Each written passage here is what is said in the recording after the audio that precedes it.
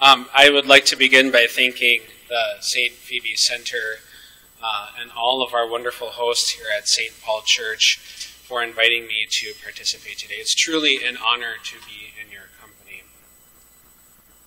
The theme of our gathering is renewing the diaconate. And there's simply no simple response to the question on how to renew the diaconate. Today we're faced with the resurgence of trends that can alienate the scholar who's faithful to the church. Historically, orthodoxy is no stranger to theological speculation or disagreements that occur amongst theologians. Deliberation on articles of faith central to the life of the church can be healthy.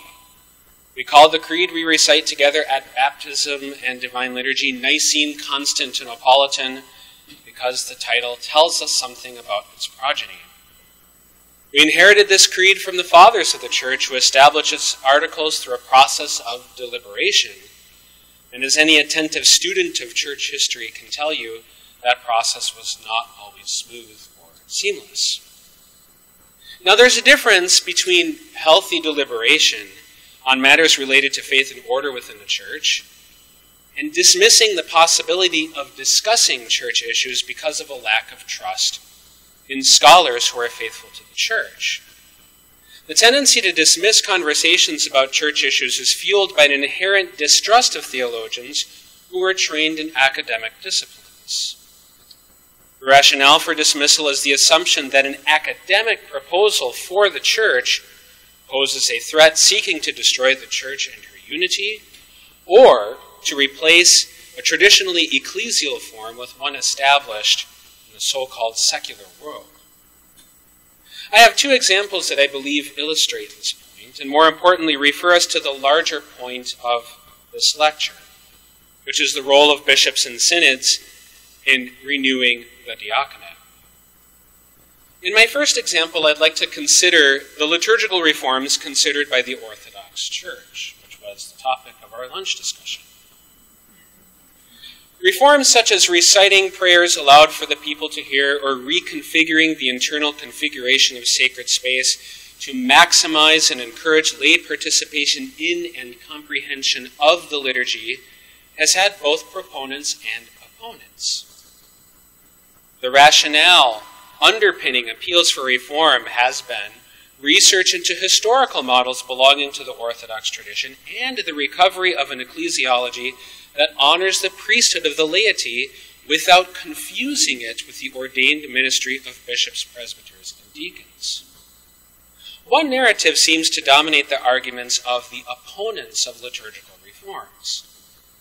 I have heard and documented the claim that the rationale for reform is inspired by either Vatican II or secular values of egalitarianism, or in some cases both. For example, secularism entering the Orthodox Church through the influence of Vatican II.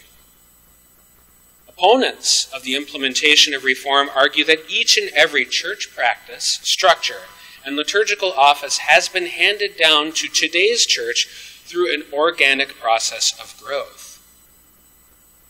If we were to implement liturgical revision, major surgery would be required to the organism, which is the church, and that surgery can be construed as a threat to distort orthodoxy, much like any cosmetic surgery performed today alters the appearance of the person on whom it has been performed.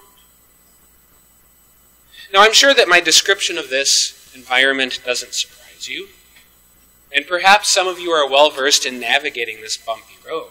But here's how the environment applies to the question of bishops, synods, and testing the spirits on the renewal of the diaconate how do we assess the status of the life of our church and ordained ministry in our time?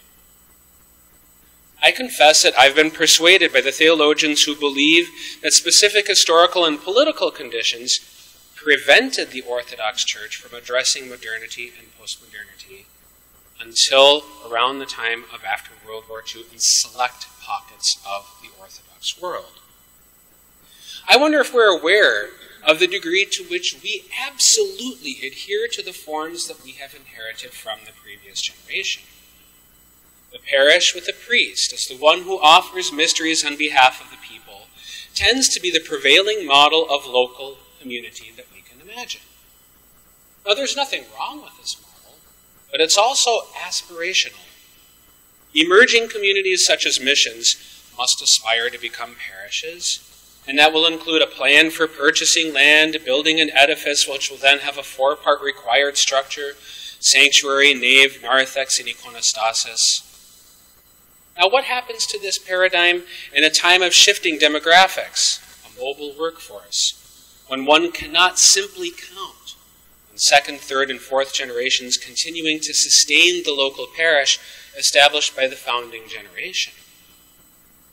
The parish is not the only entity affected by the constantly changing dynamics of culture, demographics, and a mobile workforce.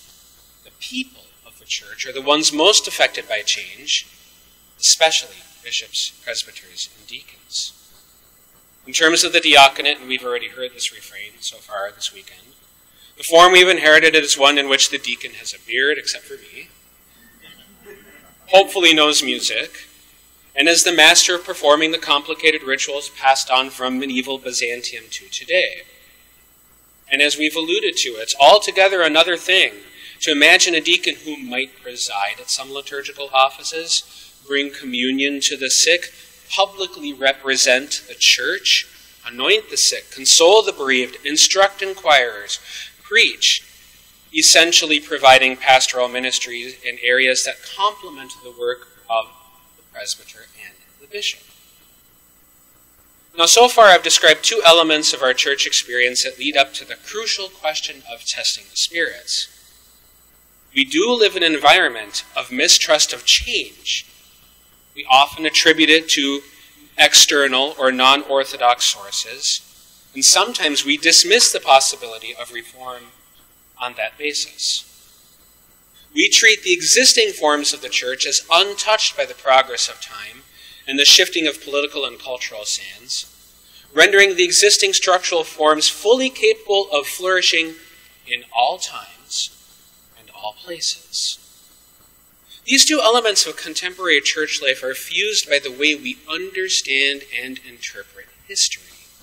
If we accept that it's natural for church forms and ministries to adapt to changes caused by time and context without relinquishing the essential content of Christian life, which is located in the creed wherever the body of Christ is assembled, then we can imagine a renewal of the male and female diaconate for the building up of the church and for the life of the world. If, however, we're convinced that church forms are timeless and it is society that needs to adapt, and not the church, then we have no business pursuing renewal. In our times, bishops and synods have taken varying approaches to test these spirits and ascertain what is needed, as long as whatever reform is implemented is from the will of God and blessed by the outpouring of the Holy Spirit. I want to use the Moscow Council of 1917 to 1918 as an example of testing the spirits. The Moscow Council was perhaps the most celebrated conciliar gathering of the 20th century, outside of Vatican II, of course. It is likely that most Orthodox scholars were intrigued by the scope of what the Council might have contributed to the global Orthodox Church had it not been interrupted by the Revolution fierce persecution of the church by the Bolshevik regime. The Moscow Council considered several liturgical reforms that had the capacity to breathe new life into the body of Christ. Proposals for reciting the anaphora aloud and translating liturgical texts from Slavonic into vernacular Russian and Ukrainian were declined or deferred at the council, as was discussion on restoring the order of deaconess. For some Orthodox, the Council's failure to act on these proposals overshadows what it did accomplish the restoration of the Patriarchate in Moscow. We should consider how the Moscow Council influenced the life of the global Orthodox Church before we declare its defeated proposals to be mere victims of history. The legacy of the spirit of the Council outlived the convocation itself and its work was continued by leaders who made new lives for themselves outside of Russia.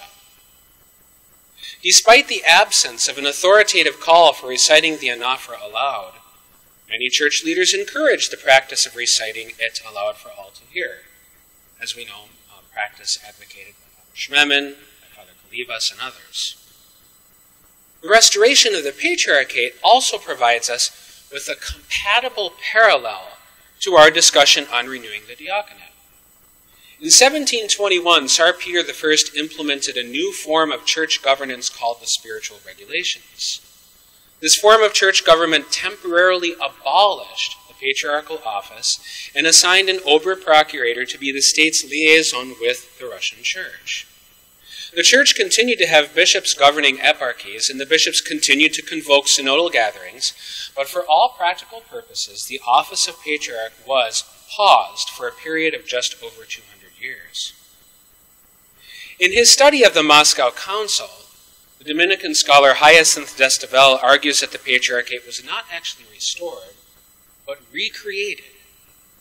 The recreation of the office of patriarch was designed to strengthen the life of the church. The patriarch would strengthen and encourage the eparchial bishops and serve as a unifying figure for the church to be working together, while also truly representing the church to the state and all other entities of the world. And sidebar, imagine the meaning of the restoration of the Patriarchate when the state, as the Russian Church had known it, had completely collapsed and been replaced by an adversarial state. All the more important to have a strong patriarch. The Moscow Council also recreated the parish by strengthening lay participation in the parish and representation of the parish without compromising the priest as the proper head of the parish. Both recreations were based on lessons learned from the history of the church. For the church to flourish as the healthy organism of Christ's body, the office of patriarch needed to not merely return, but to be capable of addressing the turbulent issues of the times. The same was true of the parish. The bishop sensed that the people's participation in the life of the local parish was steadily decreasing. So, creating a structure that brought the laity into dialogue with the priest was one way to ensure that the laity would not be alienated from the life parish. It's crucial to note that this recreation was not an innovation. The formal inclusion of laity in parish structures simply honored an older tradition of Russian parish life. Now, it would be misleading to argue that these recreations were successful. Our lens of assessment is certainly obstructed because of the severe persecution endured by the Russian Church through the Soviet period. So I would adopt a cautious approach to assessing the impact of the Council in Russia. The very first patriarch of the Church in the modern era, St. Tikhon, left a legacy of vision and mission and shed the blood of a martyr and confessor. On the other hand, many scholars and analysts have argued that Patriarch Tikhon's successors collaborated too closely with the state and compromised the mission of the church and its influence on the people. I would argue that even the most negative assessment of the recreation of the Patriarchate should account for the possibility of continuing to work on the ministry of this office. In other words, the historical act of recreating the Patriarchate would ideally be the first in a series of ongoing actions aimed towards developing the ministry of this office for the building up of the life of the church. I've reflected on Moscow's recreation of the Patriarchate because it creates a parallel for our discussion on renewing the diaconate. The Patriarchate is a particular office of the Church exercised by one probably selected from the existing pool of bishops. The task engaged by those gathered here today and afterwards is to consider how the Church might renew the order of the diaconate. The Moscow Council provides us with a potential pattern on how to approach this task. I'd like to move on in this paper and reflect on three aspects of the pattern of recreation from the Moscow Council that we can apply to our discussion on the diaconate. First, testing the spirits. The decision to restore the patriarchate was not impulsive, but the product of ascertaining a need in the church's pastoral ministry.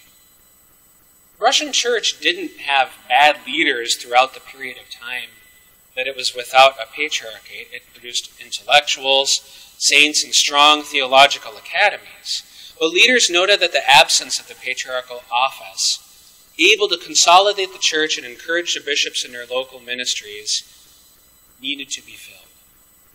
In this vein, the appeal for the recreation of the patriarchal office was timely. Two, church wide deliberation.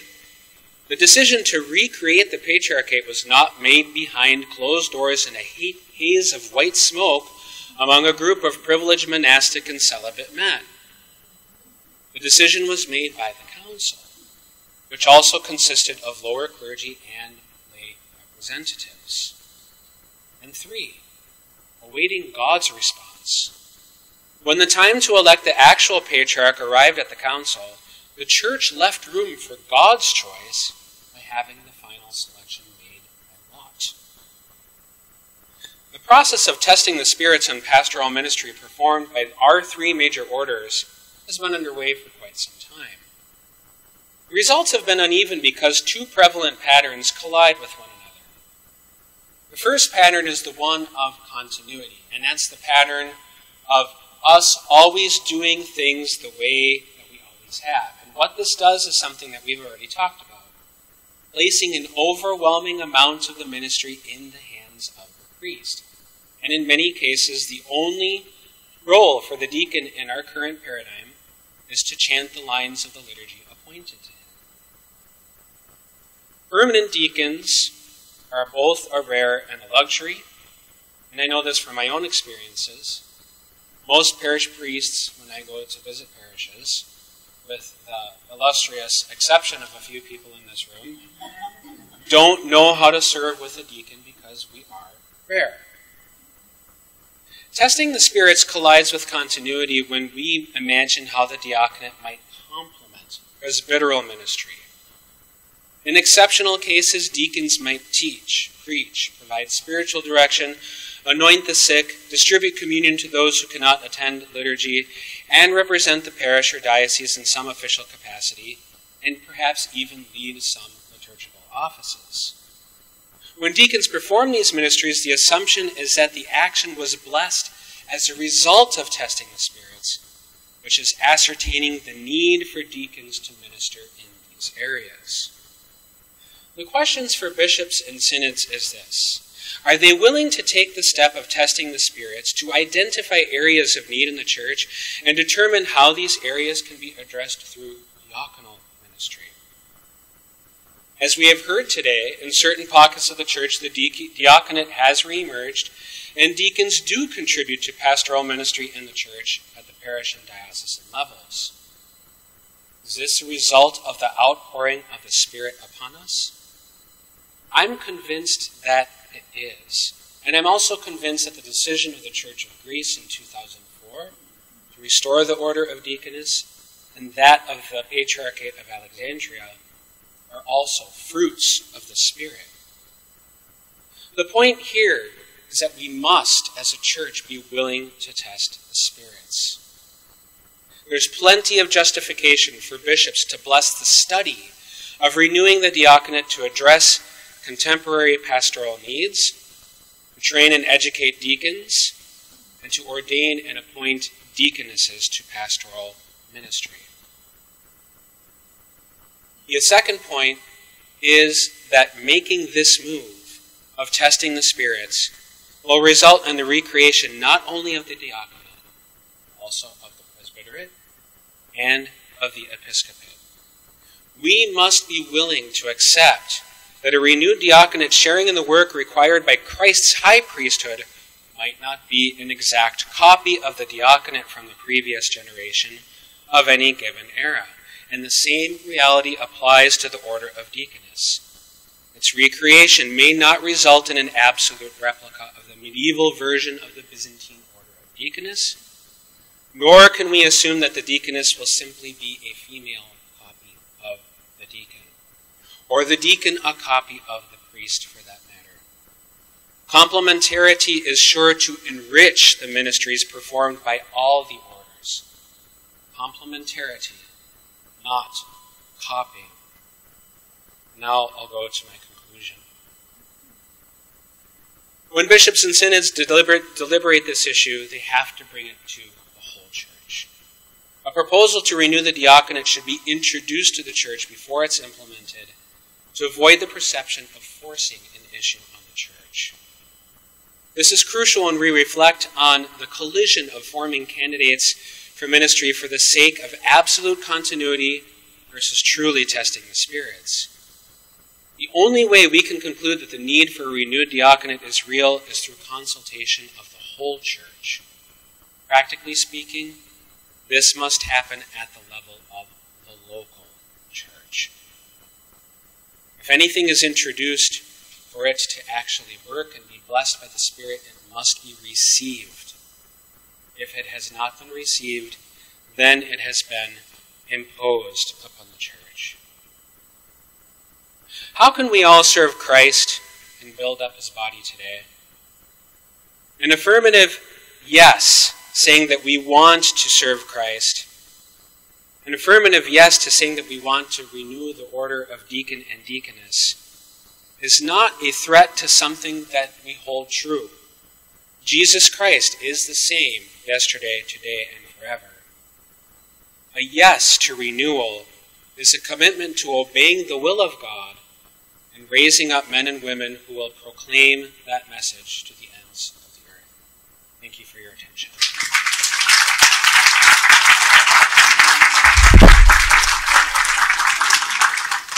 Thank you very much. We have now about Thank you, Father Alex. the model that you provide. I think that there's an assumption that, and by the West, I'm assuming you don't mean California and Oregon, but the, uh, thank you.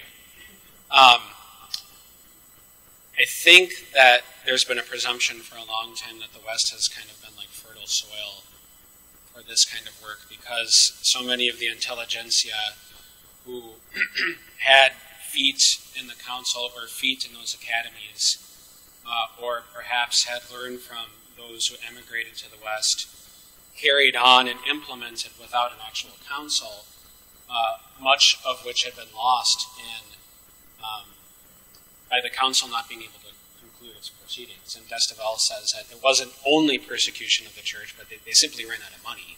They were being funded by the provisional government of Kerensky, and they didn't have the money to, to continue to get together to meet.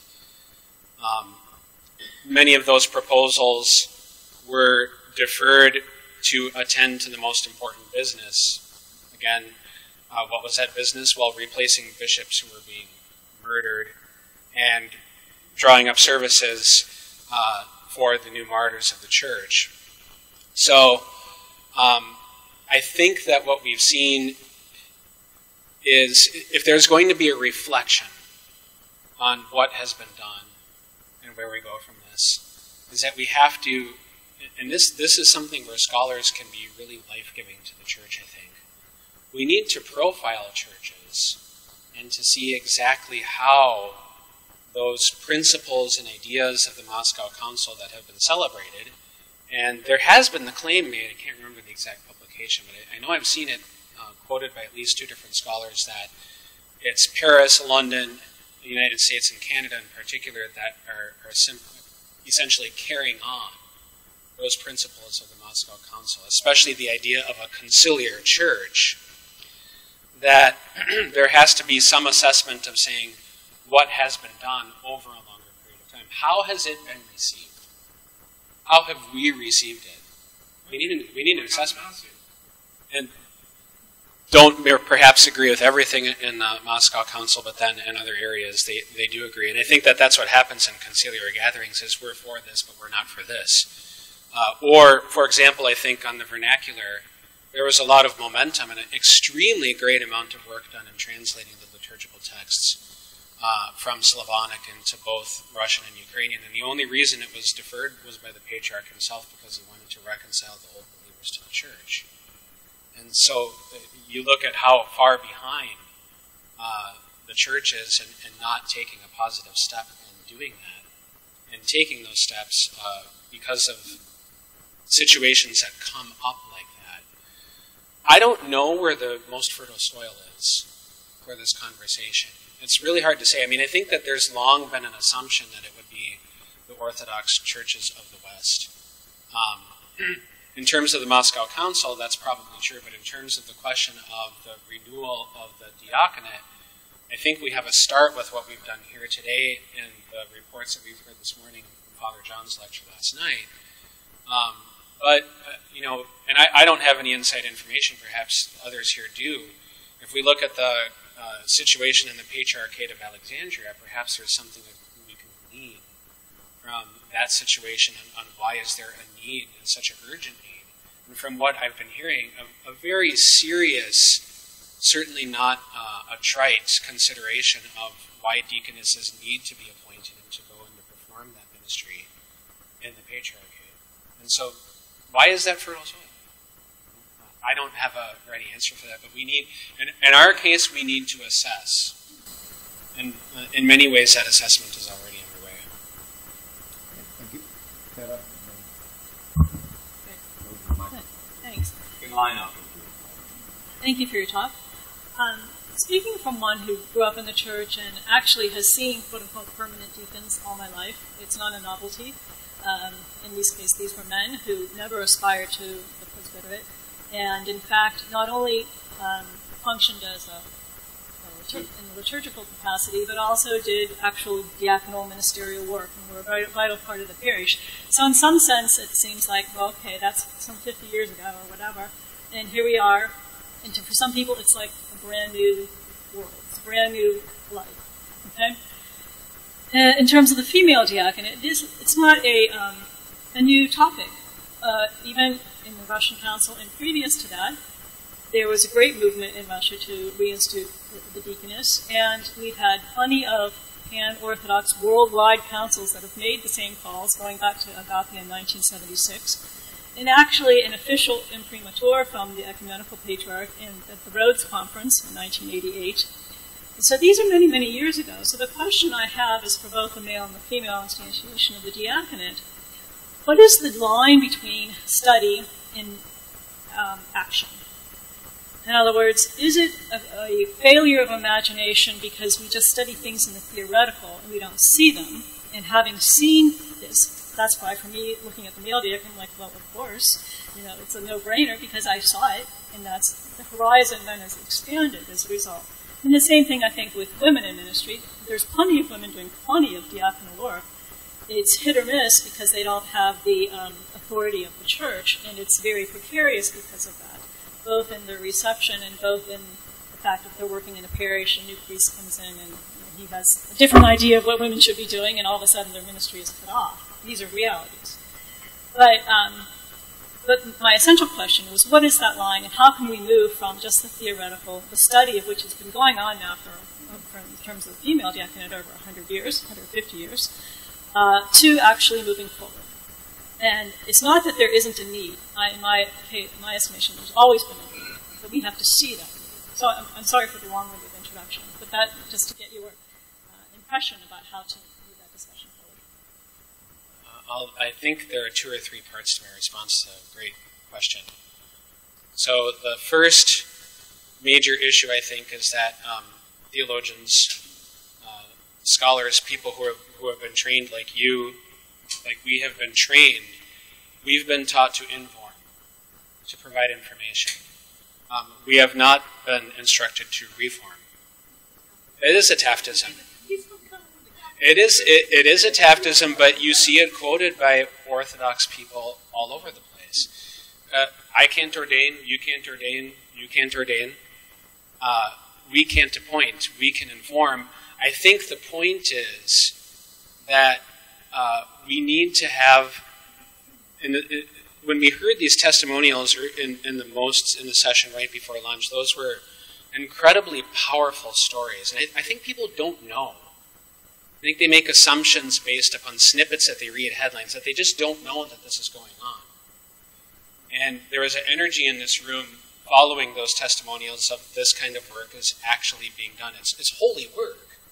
You know, when I think about the formulary for the divine grace uh, that happens at the ordinations, how, how can one argue that that's not part and operational of what's happening in the work that all of you described in that earlier session? Sometimes we assume that uh, if if you don't have an official capacity with the church, um, even if you belong to the church, that you're not working within the church. And these perceptions of mistrust, uh, it's not broken all across the board, but there's no reason that there can't be this kind of a gathering where you have uh, formal professional presentations, but the hierarch then is here and there's an informal and an easiness of conversation with the hierarch to, to gain that awareness to say that we're talking about these issues. It doesn't mean that there's unanimity. It doesn't mean that everyone sees uh, everything in the same way, but it does show that we can come together and perhaps talk about things and present things that people just didn't know about before that add new elements to the conversation. And so that I, I think that that kind of dialogue within the church where everybody is involved, that was happening at the Moscow Council. When you, the, the, the other book that I would add in, in uh, addition to the one you mentioned, Father Alex's Balashev's book on liturgical renewal, which I hear is being translated into English. And there are examples of parish clergy, of lay people, um, gathered together in sessions to say that this is why we would like to hear this prayer aloud. This is why we would like to know why the gates are closed at this point in the liturgy, because what is happening in there that we can have access to it. And you know, I don't, I don't, I'm not going to say that they all agreed because that's not how meetings work. You know, that everybody got along, but it, but to actually be able to assemble and to be able to hear one another is really the most important step uh, of leading to action.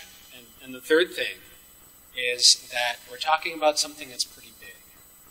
You know, this isn't I'm going to move an icon three inches in my parish, which I've heard priests being fired for that before.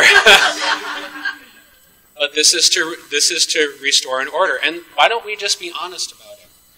This debate is affected by what's happening in the Western churches with the ordination of women in the church, and there's a fear that occurs throughout the church that this is a Trojan horse for uh, feminist theology to come into the church. Now, is that the case or not?